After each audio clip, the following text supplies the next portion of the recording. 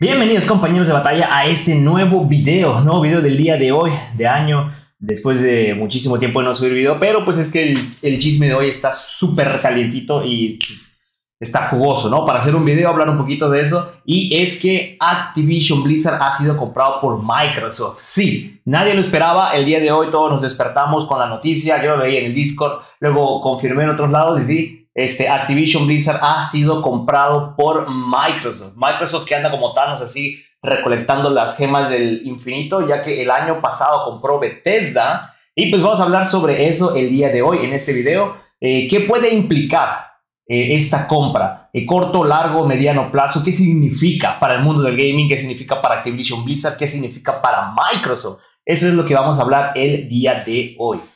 Hey, bueno, eh, Phil Spencer, que es el CEO de Microsoft Gaming, anunció esta mañana que acaban de terminar de negociar un trato. Sí, está, acaban de terminar las negociaciones, es un proceso que se va a dar, no se va a dar de manera inmediata. Acaban de finalizar las negociaciones para adquirir lo que es Activision Blizzard. Activision Blizzard es la compañía que ha producido muchas de las franquicias más populares en la industria de los videojuegos, dígase Warcraft, Candy Crush, Diablo, Overwatch, Spyro, Hearthstone, Guitar Hero, Crash, StarCraft, etc.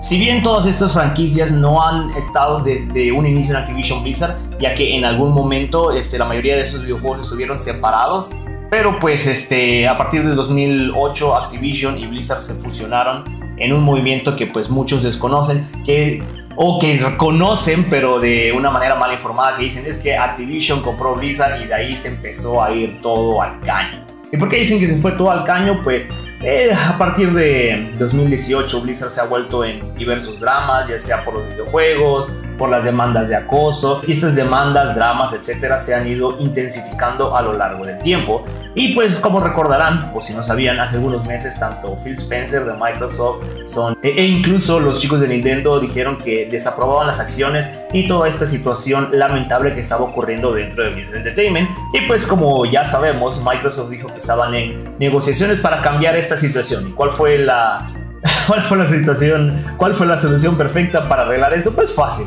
Vamos a comprar Activision Blizzard y qué mejor momento para comprar la compañía cuando está en uno de sus peores momentos. ¿Por qué digo que está en uno de sus peores momentos? Pues porque el nuevo Call of Duty no ha producido, no ha vendido lo que se esperaba. Lo que es Blizzard Entertainment, que del lado de Blizzard Entertainment no tenemos ningún título nuevo.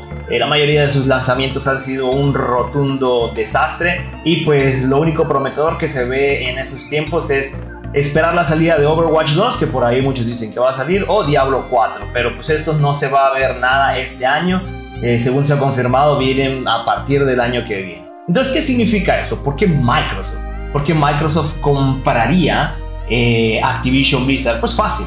Si bien este, la compañía Activision Blizzard está en una mala situación, es el mejor momento para comprarlo. ¿Por qué? Porque las acciones estaban a la baja, sus puntos más bajos en un, en un buen tiempo. Y sumado a eso, es una buena compra. La, la empresa no está produciendo, pero tiene, un, tiene muchísimo valor escondido las franquicias que maneja Activision Blizzard han sido de las más grandes, de las que más han tenido impacto en el mundo. De hecho, este, los que juegan League of Legends o los que conocen de los esports, el deporte electrónico, todo surgió gracias a Blizzard, que fue con StarCraft, que surgió en Corea, y pues gracias a eso hubo un boom, una explosión en lo que es los deportes electrónicos. Y sin tomar en cuenta que la franquicia de StarCraft pues ahorita está en pausa, lo que es Overwatch está esperando Overwatch 2, Warcraft igual no está en una buena situación. Si bien World of Warcraft sigue generando récord de ingresos cada, este, cada reporte, cada este, este, cada cuatrimestre que reportan, eh, la, retención de jugadores pues no está en una buena situación, ¿no? Y pues un montón, de sinfín de franquicias que se manejan dentro de Activision Blizzard. Recordemos, porque muchos están diciendo, es que ya Microsoft lo hizo para salvar a Blizzard, no, el paquete incluye Activision Blizzard. Todo esto va a seguir igual por lo menos este año. Por ahí dicen que se va a tomar por lo menos un año en que se complete la transacción. Recordemos que el año pasado Microsoft compró Bethesda y tomó bastante tiempo antes de que empezaron a surgir unos cambios. El primer cambio pues fue este, negarle lo que es el nuevo Ender's Scrolls a, a, lo que es este Sony, ¿no? Ya no va a salir para PlayStation, va a ser exclusivo de Xbox. Y con Activision Blizzard no va a ser diferente. ¿Qué quiere decir? Que los que odian a Bobby Kotick, que es el CEO, el que maneja ahorita Activision Blizzard, va a seguir en su puesto hasta que se complete la, compra de lo que es Activision Blizzard. Después de eso, cuando se complete todo, ya él no va a tomar todas las decisiones, sino van a tener que responderle a Phil Spencer, que es el CEO de Microsoft Game. También esto significa que en algún futuro, cuando se complete la transacción, los juegos de Activision Blizzard van a formar parte del Xbox Game Pass. Sí, ya vas a ver todos los juegos de Activision Blizzard en el Game Pass, tanto viejos como nuevos, los vas a ver este que los van a ir anexando y esto va a significar un incremento en la popularidad de algunos de esos juegos que estaban un poquito abandonados. Ahora, ¿qué significa esto? Ahora vamos a tener la aplicación de Xbox Game Pass y también vamos a tener algo muy importante que es la aplicación de Battle.net donde están los juegos de Blizzard Entertainment y Call of Duty.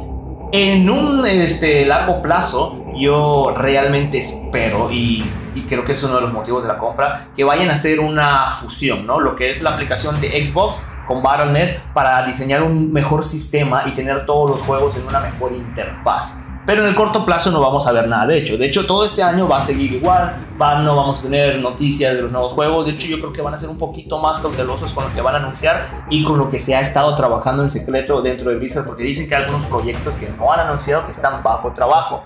Este, pero sí podremos ver cambios significativos a lo largo de. al, finalizar este proceso. ¿Por qué? Porque Bobby Kotick posiblemente va a recibir su dinero y lo primero que van a hacer es sacarlo de la posición en la que está este, ya por ahí se le hizo una, una, entrevista y pues yo creo que él sí iba a ganar bastantito dinero y con eso resuelven el drama, ¿no? Si querías que Bobby Kotick se fuera, no vas a ver que lo despidan porque eso podría costar millones de dólares, pero por ahí este, todavía va a andar ahí en lo que se complete la transacción, pero nada más es puro trámite. Ya Activision Blizzard pues, prácticamente pertenece a lo que es Microsoft.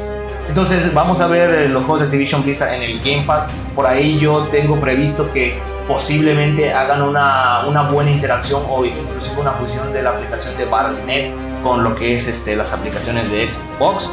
Eh, vamos a ver lanzamientos de títulos de Blizzard en consola y celular principalmente, así que los rumores que estaban sonando de que Overwatch podría tener una versión de celular no suenan tan descabellados ahora, porque estos juegos los van a incluir en la versión de cloud gaming de Xbox. No sé si sabían, pero ahorita puedes, este, si tienes el Xbox Game Pass Ultimate, puedes descargarte el Xbox Cloud y puedes jugar tus juegos en donde quieras, incluso en el celular. Así que me imagino que por ahí están planeando una transición y pues es que vaya, ahorita Activision Blizzard tiene muchas IPs, o sea, tiene muchas franquicias de videojuegos, pero para nada, para nada explotadas.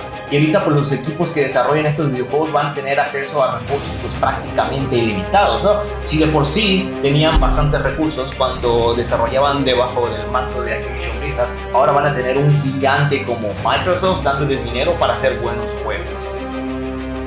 Y bueno, ¿esto qué significa para tu juego favorito?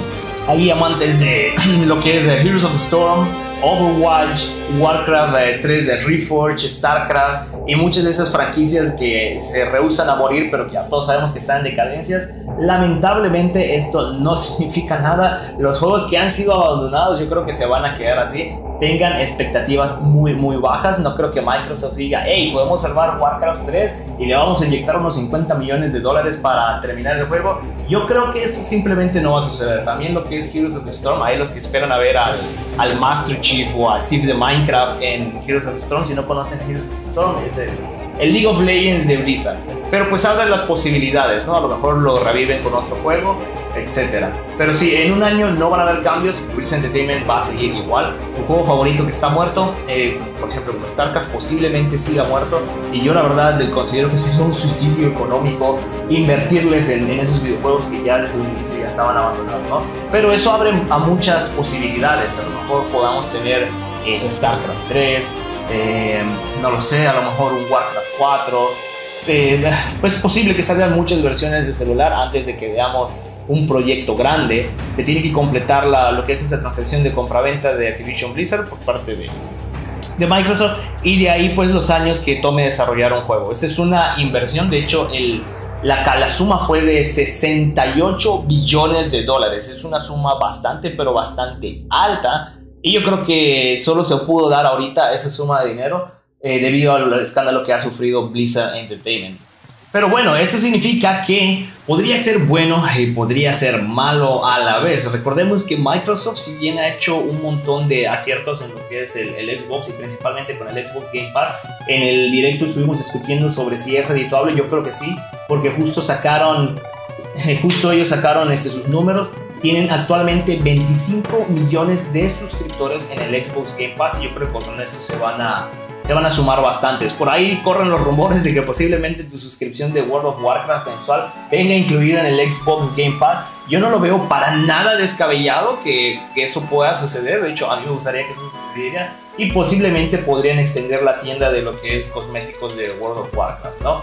Eh, ¿Qué significa esto eh, correspondiente al drama? Yo creo que todo lo que corresponde al drama de Activision Blizzard con estas acciones, pues simplemente van a terminar y van a desaparecer. Sí hay mucho que cambiar en la cultura dentro de lo que es Blizzard Entertainment y Activision, pero con esto este Microsoft llega y va a poner orden en la casa tan pronto tengan el, control total de la empresa, van a seguir trabajando como estudios independientes con acceso a más recursos, pero yo creo que les van a, les van a dar muchísimas más facilidades. Pero también podría resultar un poquito mal, ya que si bien sabemos, este, Halo Infinite no es un mal juego, pero definitivamente no es lo que la mayoría de nosotros esperábamos.